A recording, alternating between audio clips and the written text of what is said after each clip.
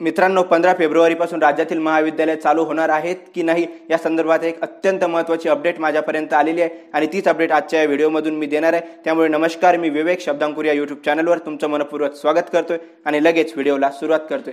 मित्रांनो आपल्या महाराष्ट्र राज्याचे उच्च व तंत्र शिक्षण मंत्री उदयजी सामंत सर यांनी राज्यातील महाविद्यालय हे पंधरा फेब्रुवारीपासून चालू करण्याचे आदेश काढलेले आहे मात्र हे आदेश काढताना त्यांनी असं स्पष्टपणे सांगितलेलं आहे की आपापल्या विभागातील महाविद्यालय कधी चालू करायची हा निर्णय पूर्णपणे स्थानिक जिल्हाधिकाऱ्यांवर आणि स्थानिक जिल्हा प्रशासनावर अवलंबून आहे. मात्र याच वेळेस आपल्या संत गाडगेबाबा अमरावती विद्यापीठाच्या महाविद्यालय चालू करायची की नाही या संदर्भातला कुठलाही निर्णय अजून झालेला नाही. कारण महाविद्यालय चालू करण्याकरता जी परवानगी लागते ती लागते विभागीय आयुक्तांची. आणि विभागीय आयुक्तांनी अजूनही महाविद्यालय चालू करण्याला कुठलीही परवानगी दिलेली नाही. आणि महाविद्यालय चालू करण्याला परवानगी द्या असे पत्र सुद्धा आपल्या संत गाडगेबाबा अमरावती विद्यापीठाने मान्य विभागीय आयुक्त पियुष सिंह गोयल यांना लिहिलेलं आहे. मात्र पियुष सिंह सर यांचे अजून कुठलेही मार्गदर्शन आलेले नाही. त्यामुळे महाविद्यालय सध्या तरी चालू होतील की नाही असा प्रश्नच पडलेला आहे. कारण आपल्या संत गाडगेबाबा अमरावती विद्यापीठामध्ये जे काही जिल्हे येतात किंवा आपल्या विभागामध्ये जे काही जिल्हे येतात त्या सर्व जिल्ह्यांमध्ये सध्या कोरोनाचा वेग हा वाढलेला आहे आणि कोरोनाचे रुग्णसुद्धा दिवसेंदिवस वाढत चाललेले आहे.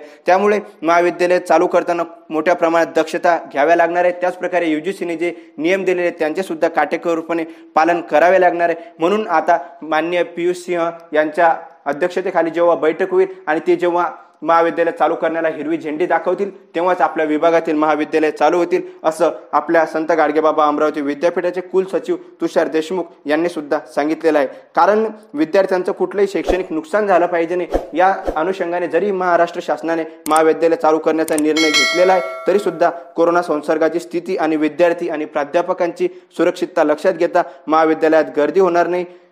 या सर्वच गोष्टींचे भान ठेवून महाविद्यालय चालू करायचे की नाही हा निर्णय शेवटी विभागीय आयुक्तच घेतील आणि तो निर्णय सध्या तरी होतो की नाही अशी शंकाच आहे. कारण आहे ते म्हणजे कोरोनाचं वाढतं प्रमाण. तरी मित्रांनो या संदर्भात बैठक झाल्यानंतर जे काही अपडेट येतील त्या पुढील व्हिडिओमधून मी तुम्हाला नक्कीच कळेल. तोपर्यंत आपली रजा घेतो. मनपूर्वक धन्यवाद.